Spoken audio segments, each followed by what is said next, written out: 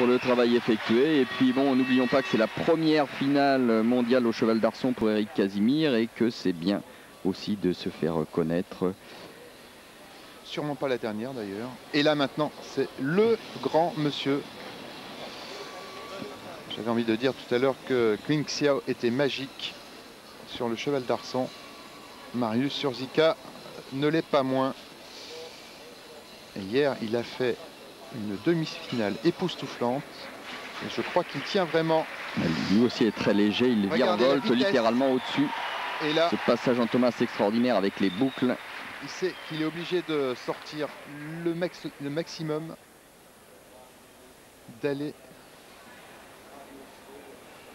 à fond s'il veut avoir une chance de battre Kung Xiao. C'est possible. Et Encore une fois, sans faute pour Marius Surzika.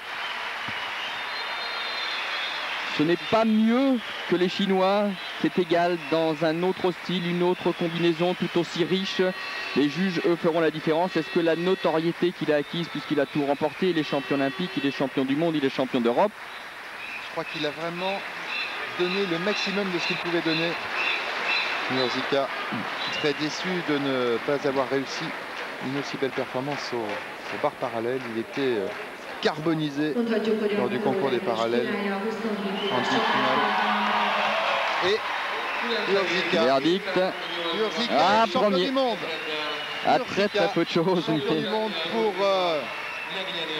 37 euh, millièmes. C'est rien du tout 37 millièmes et c'est énorme. Ça fait la différence entre le champion et le vice-champion du monde. Il a refait quasiment le même coup que lors des qualifications en demi-finale. Hier, il a marqué un grand coup psychologiquement et là, il a réussi euh, à rééditer exactement au même moment, sur ces figures-là précisément, la même prestation. Passer en dernier, impressionner le jury, ça fait aussi un peu partie de, ce sport. On est très loin bien sûr du patinage artistique, mais ça compte quand même pour les, les petits millièmes de rien du tout qui font la différence.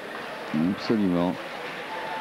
Et du coup, Eric Casimir se retrouve cinquième, mais encore une fois, avec une finale de ce niveau-là, rien à dire, il est à sa place.